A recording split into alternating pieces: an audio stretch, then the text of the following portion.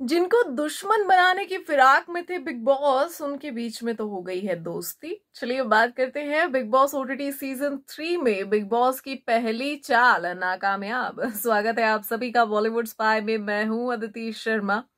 तो दोस्तों, हमने प्रोमो में भी देख लिया था और अब हम एपिसोड में भी देख चुके हैं कि लवकेश कटारिया और विशाल पांडे को भिड़वाने की पूरी पूरी फिराक में थे बिग बॉस स्टेज पर से ही। इन दोनों के बीच में राइवलरी करवाने की फिराक चल रही थी।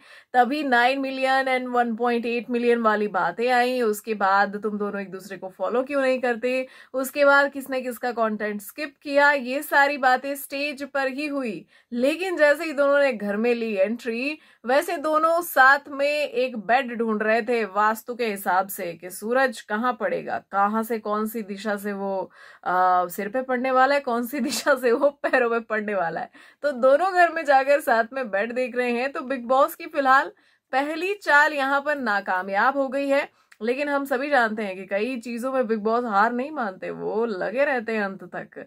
तो क्या राइवलरी क्रिएट कराने की कोशिश की जाएगी? आगे भी पैंतरे आजमाए जाएँगे या फिर इन दोनों की दोस्ती हो जाएगी? ये कहना अभी फ़िलहाल जल्दबाजी होगी दोस्तों कि आखिरकार क्या होने वाला है। उसके लिए एक दो हफ़्ते लगने वाले हैं। वैसे कितना इंटरेस्टिंग लग रहा है बिग बॉस? कमेंट सेक्शन में बताइए ज़रूर। मिलते हैं नेक्स्ट वीडियो में।